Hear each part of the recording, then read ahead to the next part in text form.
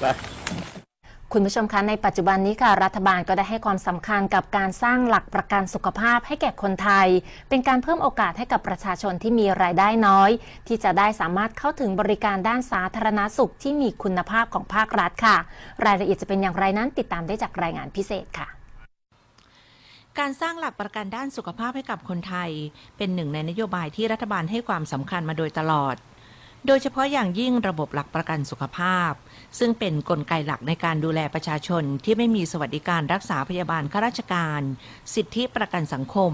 หรือสวัสดิการรักษาพยาบาลอื่นที่รัฐจัดให้ ให้สามารถเข้าถึงบริการด้านสุขภาพได้ตามความจำเป็น ทั้งในหน่วยบริการในชุมชนหรือที่บ้านโดยครอบคลุมทั้งทางด้านบริการ สร้างเสริมสุขภาพ การป้องกันโรค การรักษาพยาบาล ตลอดจนฟื้นฟูสมรรถภาพ โดยไม่ต้องกังวลเรื่องภาระค่าใช้จ่าย ถึงแม้ว่าจะเป็นโรคที่มีค่าใช้จ่ายในการรักษาพยาบาลสูงก็ตาม ไม่ว่าจะเป็นผู้ป่วยที่มีฐานะยากจน ผู้ป่วยที่มีทุกเศรษฐฐานะครับสามารถที่จะสามารถที่จะเข้าถึงบริการ สามารถที่จะได้รับการดูแลตามมาตรฐานและคุณภาพเดียวกันนะครับ ไม่ว่าจะเป็นคนกลุ่มใดก็ตาม ซึ่งจริงๆ แล้วโครงการนี้จะมีประโยชน์ต่อ ผู้ป่วยที่มีรายได้น้อย เพราะว่าสมัยก่อนเนี่ยผู้ป่วยที่มีรายได้น้อย หรือถึงแม้แต่ผู้ป่วยที่มีฐานะก็ตามเนี่ยพอจำเป็นต้องมาบำบัดทดแทนไตเนี่ยเขาจะต้องเสียค่าใช้จ่ายเองเนี่ยจากเดิมที่เคยมีเงินก็จะยากจนลง หรือว่าจากเดิมที่ไม่เคยมีหนี้สินมีหนี้สินเนี่ยก็ต้องมากลายเป็นว่าต้องกู้หนี้ยืมสินมาเพื่อเพื่อมาจ่ายค่าบริการ ซึ่งปัจจุบันเนี่ยก็ไม่ ผู้ป่วยไม่จำเป็นต้องจ่ายเองแล้วนะครับสำนักงานหลักประกันสุขภาพก็มีการจ่ายชดเชยแทนผู้ป่วยนะครับ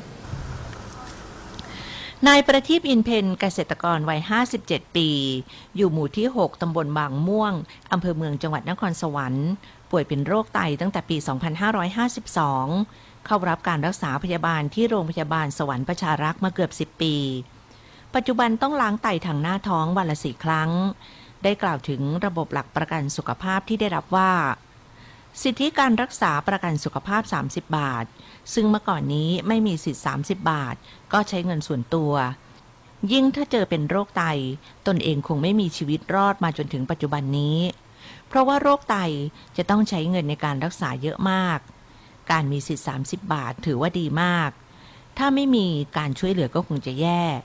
ต้องขอขอบคุณรัฐบาล กระทรวงสาธารณาสุข สปสช โรงพยาบาลสวรรค์ประชารักษ์ โรงพยาบาลส่งเสริมสุขภาพชุมชนบางม่วง ทุกภาคส่วนที่ให้การดูแลตนเป็นอย่างดี ดีมากกับคนกับคนที่รายได้น้อยอะไรเงี้ยนะครับ ถ้าคนที่เขามีสตางค์เยอะๆเขาก็เลือกได้อย่างอย่างคนมีรายได้น้อยเนี่ยอันอันนี้พึ่งได้มากเลยครับ ดีมาก ดีได้มาก ๆ เลย ขอบคุณรัฐบาลด้วย ขอบคุณทางสปสชอะไรเงี้ยที่เขาช่วยให้ให้ของอะไรต่ออะไรมา น้ำยาอะไรเงี้ยนะน้ำยาล้างไตเนี่ยครับ ทุกวันนี้ลุงประทีปทำงานเล็กๆ น้อยๆ ด้วยการช่วยลูกปลูกผักชีฝรั่ง และพยายามรักษาสุขภาพร่างกาย หมั่นดูแลตัวเองทำตามคำแนะนำที่แพทย์และพยาบาลบอก อันไหนที่พอจะช่วยเหลือตัวเองได้ก็จะทำเพื่อไม่ให้เป็นภาระของคนอื่น สุขภาพก็ยังพอได้ครับ แต่มันก็มันก็ทุดโทรมนะฮะโรคเนี้ยมันจะทุดโทรมลงไปเรื่อยๆ อย่างไอตาหูอะไรเงี้ยมันก็จะแย่ลงเพราะมันเป็นมานานแล้วเนี่ยทั้งเก้าปีแล้วนะครับ เป็นมาเก้าปีก็ มันจะทุดโทรมไปเรื่อยๆครับทุดโทรมตลอด แต่มันเป็นทีละน้อยละน้อยร่างกายเราก็พยายามดูแลตัวเองให้ดีครับนางนิสพรทำรงวัฒนกุลผู้อำนวยการโรงพยาบาลส่งเสริมสุขภาพตำบลบางม่วงกล่าวว่า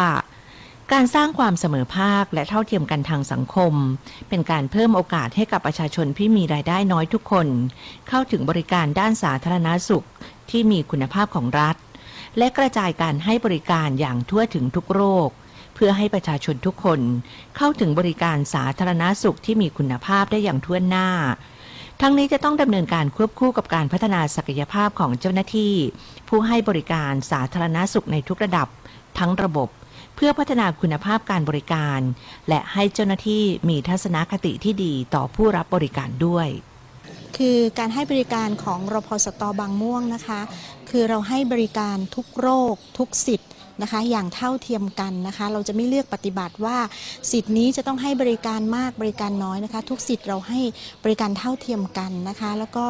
อ่ารพสตบางม่วงเนี่ยได้มีการจัดสหวิชาชีพนะคะ เพื่อมาให้บริการในชุมชนนะคะ ในทุกสิทธิ์ทุกโรคเหมือนกันนะคะ การสร้างความเสมอภาคและเท่าเทียมกันทางสังคม เป็นการเพิ่มโอกาสให้กับประชาชนที่มีรายได้น้อย เข้าถึงบริการด้านสาธารณาสุขที่มีคุณภาพของรัฐ และการกระจายการให้บริการอย่างทั่วถึง จะทำให้เจ้าหน้าที่ที่ให้บริการทางด้านสาธารณาสุขในทุกระดับ เพิ่มและพัฒนาคุณภาพการให้บริการเป็นไปอย่างประสิทธิภาพ บนพื้นฐานความเท่าเทียมและเสมอภาคในสังคม ปิยชัดเกตน้อยถ่ายภาพ นันทนีติดใจ ทีมข่าว NBT พิษณุโลก รายงานมีต้องฉีดยามาต่อกันที่เทศบาลเมืองกำแพงเพชรค่ะ ได้จัดกิจกรรมเดินรณรงค์ประชาสัมพันธ์การจัดการขยะอินทรีย์ ส่งเสริมการคัดแยกขยะตั้งแต่ต้นทาง เพื่อเป็นการลดปริมาณขยะที่เกิดขึ้นค่ะ